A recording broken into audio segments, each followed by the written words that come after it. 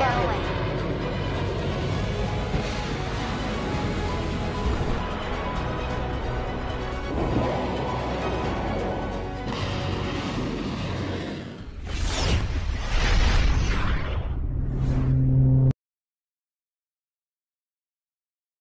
German lawmakers on Wednesday announced plans to purchase Israel's Arrow 3 anti-ballistic missile system.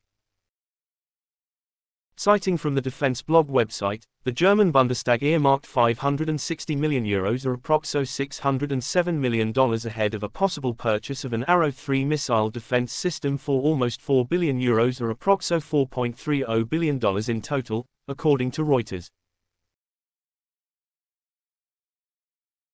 The Arrow 3 is designed to intercept ballistic missiles outside of the Earth's atmosphere.